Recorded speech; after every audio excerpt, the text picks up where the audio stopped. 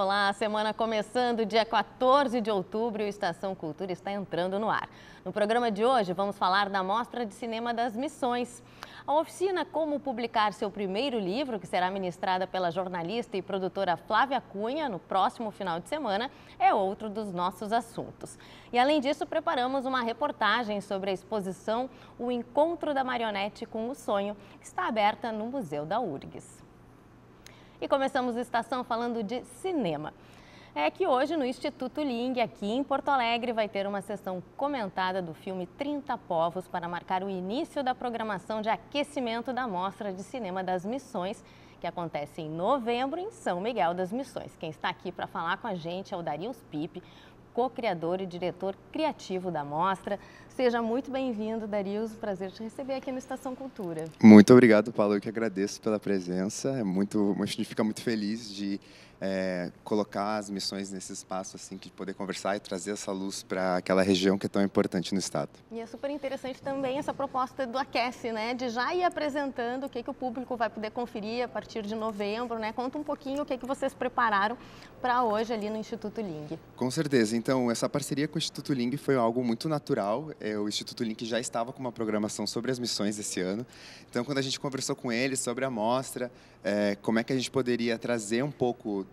do que a gente está fazendo lá, que fica longe de Porto Alegre, né?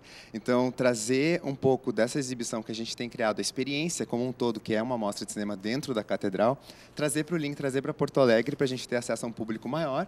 É, e então a gente programou duas sessões de longas metragens. Vou só fazer uma, uma é, um contexto, mas na mostra de cinema lá dentro é, da, da Catedral de São Miguel a gente exibe só curtas metragens, por a gente ter um tempo curto de exibição. Então agora a gente conseguiu conseguiu alguns filmes maravilhosos sobre a região missioneira, sobre o contexto multiétnico que existe lá.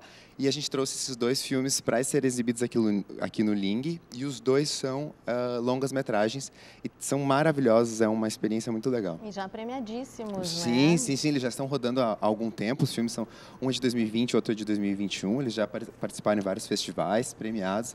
E a gente está exibindo eles nesse contexto uh, de ter uma mostra que é das missões, né? Então é muito interessante. E 30 Povos eh, foi filmado né, em várias eh, regiões né? Uma parceria de Brasil, Argentina, Paraguai. Né? Então, o filme traz muito sobre a história, ele traz sobre também conflitos que existem hoje ainda, conflitos que eu digo assim de coexistência, né?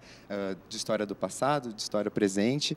É, mas o interessante é que esse filme ele tem esse contexto do Paraguai, da Argentina. Ele, ele ele faz esse contexto das missões sem fronteiras, né? Porque as missões eram uma região que, não, que existiram quando não existiam essas fronteiras delimitadas. Então, hoje em dia, a gente vê três países diferentes, mas, na verdade, a região das missões é uma só. Então, é muito legal ver essa, essa maneira como o Zeca retratou toda essa história nesse pequeno documentário, assim, não é tão pequeno, mas é um, um retrato muito breve de uma história tão rica e longa, né?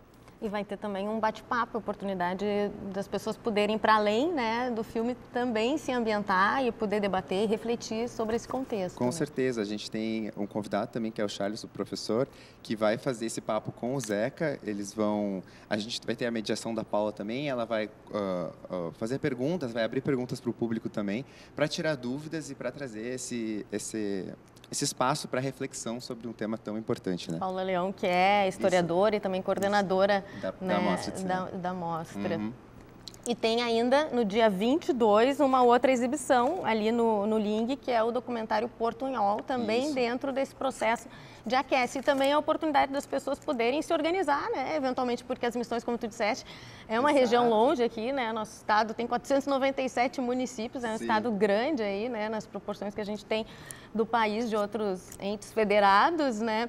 Então é a oportunidade também das pessoas reservarem a passagem, verem a hospedagem para acompanhar a exibição que acontece lá nas missões também. Né? Exatamente. Né? Como a amostra existe um certo planejamento, algumas pessoas que vêm de longe precisam reservar hotel, precisam planejar. Esse aquece já também é, é um, é exatamente daqui a um mês, né? A mostra acontece agora, dia 15 e 16 de novembro. Então, a gente tem esse um mês de preparação, é, que a gente traz essas duas exibições, que também trazem um pouco da é, um gostinho do que os filmes vão retratar na amostra. Então, é, eles já fazem esse contexto e, ao mesmo tempo, eles uh, é, introduzem tudo que a gente vai contar, né? A gente está acompanhando algumas imagens ali, ó, direto das missões. Não, é muito lindo, é uma experiência assim que é muito difícil de descrever, porque é só estando lá, entrando na catedral uh, à noite, que é uma experiência que eu acho que é muitas poucas pessoas, porque o sítio fecha às sete horas, né? Então à noite poucas pessoas entraram lá.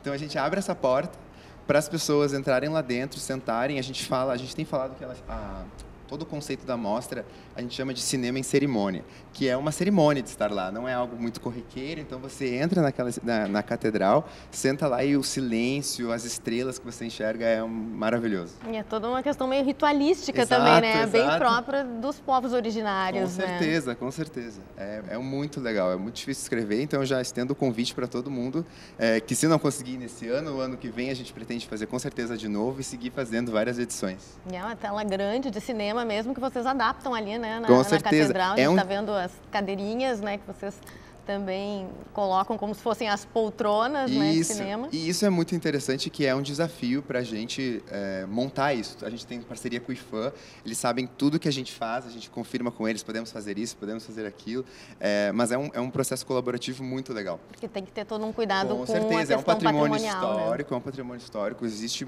um um cuidado muito grande do que a gente pode fazer. Inclusive, a gente é, sempre enfatiza o silêncio, o cuidado, não, não a gente não é, permite alimentos, etc., para não fazer esse, porque não é um clima de festa. Apesar de a mostra ser uma celebração, a gente tem um espaço no hotel Tenondé, que é o nosso parceiro, que a gente faz os, todos os, as conversas, os debates, a programação paralela acontece lá. E lá dentro da catedral é o nosso momento de silêncio, nosso momento de prestar atenção e focar na, uh, no cinema mesmo, né?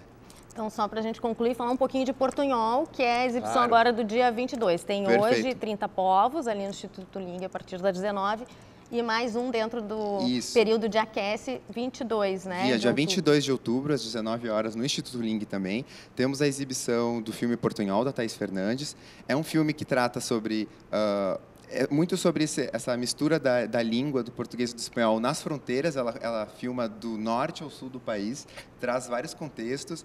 E além do espanhol e português, ela fala também sobre as línguas indígenas que estão presentes nesses territórios, como o queixo, ali perto do Peru, e também o guarani aqui no Paraguai, Argentina, e justamente nas missões. Então, é um, é um é, é, cria uma conexão com tudo que a gente fala, muito legal, e é um filme muito interessante. Ótimo, vamos fazer então de novo o convite. Darius claro. Pipe, muito obrigada, co-criador, diretor criativo da mostra. Exibição do documentário 30 Povos, hoje às 19 horas, ali no Instituto Ling, na João Caetano, número 440. Mais informações também pelo site do Instituto Ling, né? A gente já apresentou ali na tela. Tem também a exibição no dia 22, então, dentro do Aquece, do documentário Portunhol, sempre no mesmo horário, às 19 horas, ali no Instituto Ling, no mesmo endereço, e a mostra né, de Cinema das Missões, edição 2024, entre 15 e 16, nesses dois dias, 15 e 16 de novembro, né? Então atentem-se aí para reservar, poder, né, quem conseguir encaixar Programa. esse período para programar uma ida e acompanhar a mostra lá nas missões, que é uma outra experiência, como a gente já viu, né, muito bacana também lá em São Miguel das Missões. Informações, detalhes e datas direitinho no Instagram também, para quem não conseguiu pegar agora, mas com todo o detalhamento no tempo que for necessário aí pelo perfil do Instagram, que é o arroba Mostra Cine Missões. Darius, mais uma vez, muito obrigada, parabéns aí pela iniciativa e sucesso. Obrigado, eu que agradeço e estendo o convite para todo mundo participar tanto da programação aqui quanto lá nas missões, a gente aguarda todo mundo. Muito Maravilha, obrigado. sucesso. Relíquias do Teatro de Bonecos estão em exposição no Museu da URGS. É a mostra Um Encontro da Marionete com o Sonho, que comemora o aniversário de dois dos mais importantes grupos aqui do estado, o TIM e o Anima Sonho.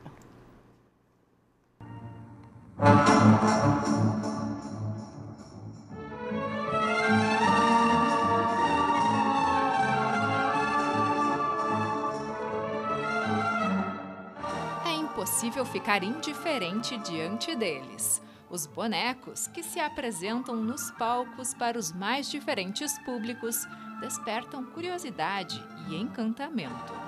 Aqui no estado, essa arte está completando 70 anos, pois foi em 1954 que surgiu o primeiro grupo, o Teatro Infantil de Marionetes, o TIM. Tudo começou com a dona Odila. Ela se formou na URGS em artes plásticas, ela era professora de artes plásticas e ela fez um curso de teatro de bonecos e se encantou é bem possível, porque é bem encantador mesmo essa arte.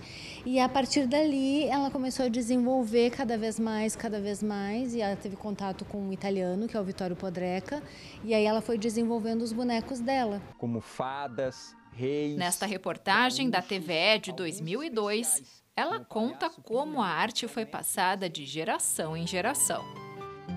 A senhora que incentivou os seus filhos foram, foram indo por conta própria? Por conta própria. É, eu gostava, né? Mas eles é que foi que tomaram conta de tudo. Eu fazia o boneco, botava os fios, ensinava, dava o um movimento para eles e eles então continuavam. O filho de Dona Odila, Antônio Sena e a Nora deram continuidade ao grupo. E hoje cabe ao neto, Cacá Sena, manter esse trabalho vivo, sete décadas depois. E o que eu escuto mais hoje é que, assim, muitos bonequeiros, colegas dizem assim que todos são filhos do, do Tim, que é esse teatro da minha família, Tim Teatro de Marionetes, que foi um precursor. Então, todas as companhias que hoje estão completando 40 anos, 30 anos de trajetória, o teatro, o Team Teatro Marionetes já existia, né? Então, de certa forma, eu sinto essa, essa homenagem geral, assim. Essa história está sendo contada na exposição O Encontro da Marionete com o Sonho, que está em cartaz no Museu da URGS até 18 de outubro. A mostra é dedicada a duas companhias fundamentais do teatro de bonecos aqui do estado, o TIM e o Anima Sonho, que também é um grupo familiar criado pelos irmãos gêmeos Tiaraju e Ubiratã Gomes, há 40 anos. Diferente do Tim, que é especializado em marionetes de fio, o Anima Sonho utiliza bonecos de luva. Em ambos os casos, o que está proposto é um exercício de presença. A gente vai ter também um movimento que requer uma atenção extremamente concentrada no momento em que tu está trabalhando com aquele material. Então, essa atenção que é extremamente concentrada, eu, particularmente, o nosso projeto né, de extensão universitária defende isso, ela vai na contramão de uma histeria é, tecnológica onde tudo vai rápido. É um exercício de presença. Então, se eu posso falar que tem alguma coisa nesse momento, assim, que o teatro de bonecos pode é, auxiliar a humanidade, é exatamente nesse exercício de presença, tanto na maneira, da, tanto na hora da gente construir o boneco, quanto no momento em que a gente vai efetivamente né, atuar junto com o objeto. A mostra no Museu da URGS conta histórias de personagens importantes, como o anti-herói Chico Gato, do Tim. Traz ainda bonecos raros. Uma experiência de descoberta para quem nunca viu espetáculos dos grupos, mas também de acionar uma memória afetiva para aqueles que já viram essas estrelas no palco.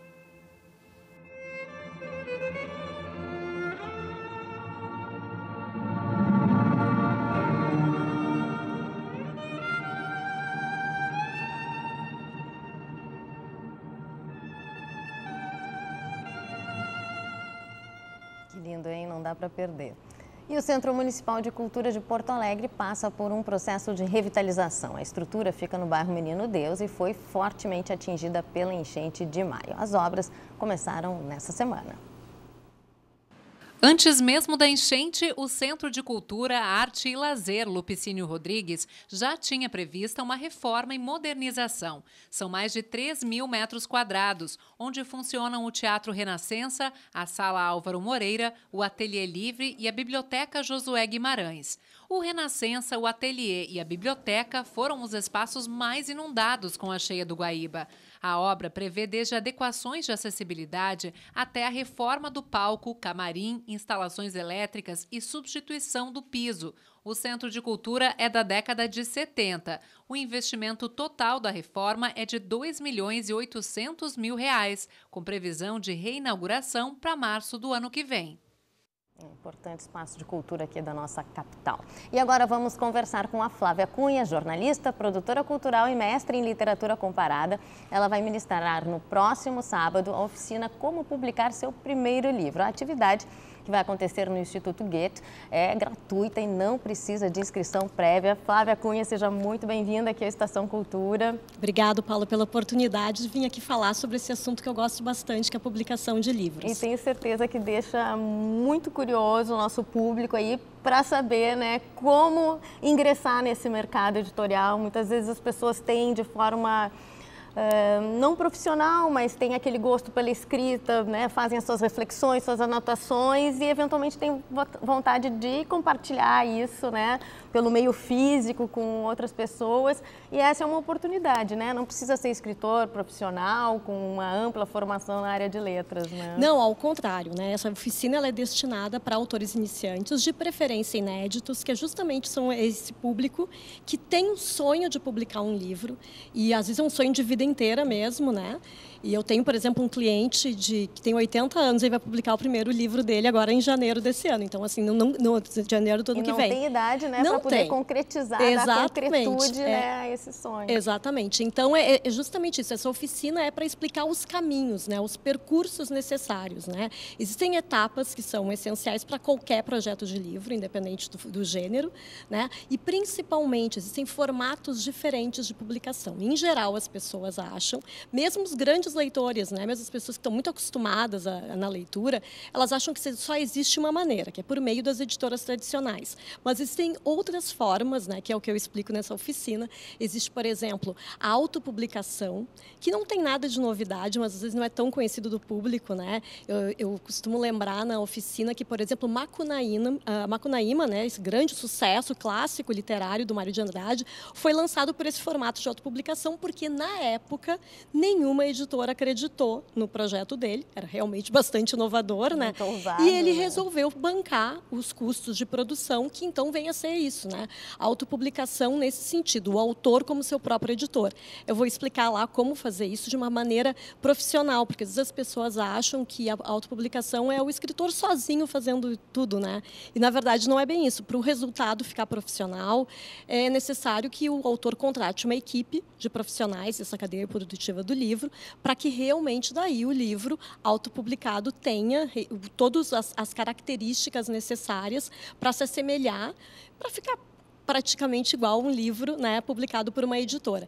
E existe também, Paula, o formato de publicação que é a editora como prestadora de serviço. Isso, em geral, nós, leitores, não ficamos sabendo. Quando a gente vê um livro na livraria, a gente não sabe como é que foi essa negociação entre a editora e o escritor. Mas, claro, para quando a gente está pensando assim em publicar um livro, a gente precisa entender esses bastidores que o público, em geral, não tem acesso. É, até para poder fazer a escolha mais adequada, saber o que é viável né, para cada situação. Né? Então, acho que esse também é o propósito ali das pessoas buscarem entender quais são os caminhos, as possibilidades, né? dentro daquilo que elas projetam, né? dentro da sua proposta. Ah, eu quero só fazer um registro. Ah, né? nessas condições para mim é viável, assim já fica um pouco mais difícil, né? Acho que isso vai muito também de entender cada situação e é o momento ali, né? Porque as pessoas vão poder tirar todas essas dúvidas, vai ser um bate-papo, assim, vai ser mais do que uma palestra, né? Acredito que tenha aquele espaço para que as pessoas possam justamente tirar as dúvidas, né? É, justamente a ideia é fazer uma, uma oficina, eu, eu propus, né, que fosse uma oficina com tempo de duração longo, né? São três horas de duração, mas para que eu possa primeiro passar o conteúdo de uma forma bem calma, bem tranquila, as pessoas têm dúvidas, vão, vão a gente volta no conteúdo, tira dúvida, mas também para ver esse espaço, né, para quem se sentir confortável de contar o seu projeto de livro, que as pessoas possam ter essa troca, né, que a gente possa conversar a respeito, às vezes tirar alguma dúvida, às vezes as pessoas têm só a ideia do livro, pode ir também só com a ideia, para a gente pode ali conversar e ver qual é a viabilidade disso, né?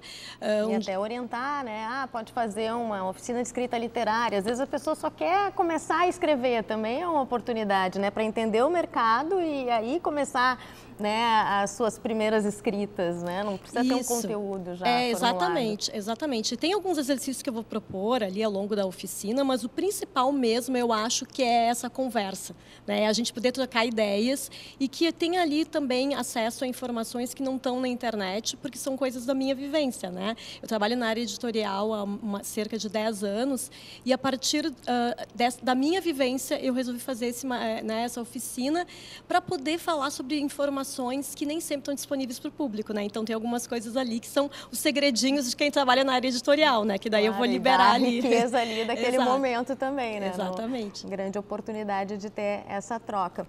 Flávia, falando de sonhos, né? Tu comentavas que a gente já está na quarta edição, né? E que surgiu de uma forma inesperada, de certa maneira, né? Foi uma surpresa para ti o convite. Eu queria que tu contasse um pouquinho mais falando de sonhos, voltando a essa questão tu tens o sonho também de que esse projeto talvez possa circular pelo estado, né? Que a gente possa compartilhar com outros municípios esse conhecimento também. Pois né? é, gostaria muito. Então, esse projeto surgiu uh, por convite da Sandra Laporta, que é a coordenadora da programação adulta da Feira do Livro. O ano passado ela me chamou é, e me perguntou: ah, tu faria uma oficina para autores iniciantes? E eu pensei, nossa, eu nunca nem pensei em fazer isso, né? E aí eu resolvi aceitar o convite da, da Sandra, né? Então, ano passado na Feira do Livro foi a estreia até da entrevista aqui na, no Estação Cultura para falar sobre essa estreia. E agora já é a quarta edição, mas sempre aqui em Porto Alegre, né? As oportunidades que surgiram, claro, eu tenho uma rede maior de contatos aqui em Porto Alegre, né? Mas gostaria muitíssimo de levar essa oficina para o interior do estado. Eu acho que existe um, público, né? Eu, eu, sei, né, de pessoas que têm esse sonho. Bom, quem, acho que em todos os lugares aí do, do Brasil, do mundo, tem gente com sonho de publicar um livro, mas eu, acho, eu, no interior do Rio Grande do Sul acredito que exista né, essa demanda. Então, estou aberta para convites, possibilidades. Olha só, então vamos reforçar a atividade agora, no sábado, no Instituto, no Instituto. E ficamos na torcida também para poder viabilizar e que a gente possa falar também né, dessa iniciativa chegando a outros municípios aqui do Rio Grande do Sul, porque com certeza haverá interessados, né? Porque a escrita e, e o mercado editorial ele tem também né, ainda muito mexe muito né, com o nosso universo criativo e mobiliza muito a sensibilidade humana, então com certeza deve render frutos também no interior do estado. Flávia Cunha, jornalista, produtora cultural. Lembrando então, a oficina agora como publicar seu primeiro livro no sábado, a partir das duas e meia, são três horas ali de imersão, de bate-papo, de uma conversa legal, até então às cinco e meia da tarde no Goethe Institute na 24 de outubro, ali na sede do Instituto Goethe, 112. Informações também sobre outras atividades que a Flávia esteja organizando aí na, na sua agenda para os próximos meses é no perfil do Instagram da Flávia, o arroba produtora. Flávia, mais uma vez, muito obrigada pela presença aqui no Estação Cultura e sucesso e volta logo aqui para falar se vai rolar esse roteiro aí pelo interior que a gente fica na torcida também. Ah, muito obrigada. E o Estação Cultura desta segunda-feira está chegando ao fim. Só não esquece que tem a nossa reapresentação do programa de hoje às 10 horas da noite. Mas também dá para conferir as edições passadas do Estação na página da TVE no YouTube. E a gente vai encerrar com imagens do show Pedro Precisa Cantar Erasmo, do Pedro Coelho, que se apresentou aqui em Porto Alegre no início deste mês. Tchau, tchau. Nos vemos amanhã às duas da tarde, ao vivo, aqui na TVE.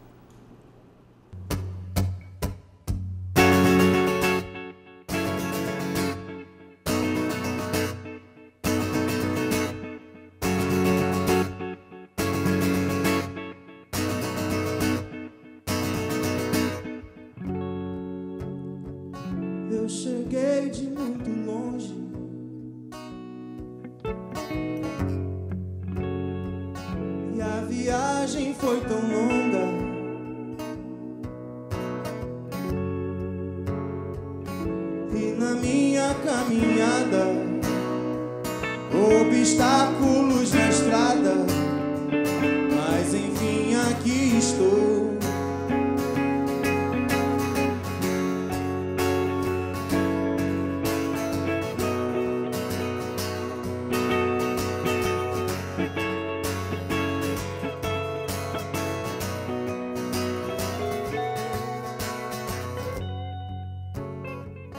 Mas estou envergonhado.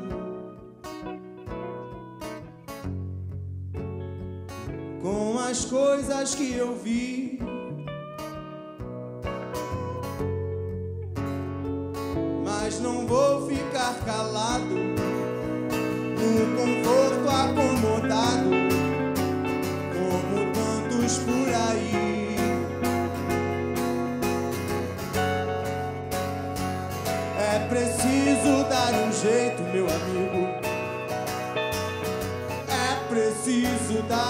Jeito, meu amigo.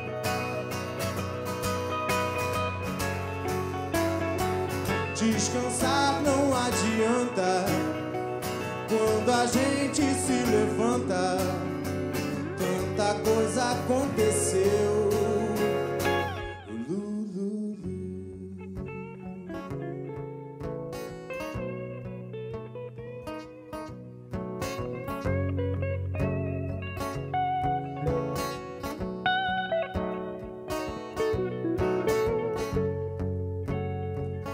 As crianças são levadas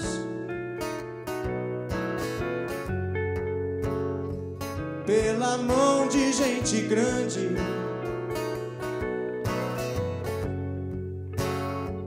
Quem me trouxe até agora me deixou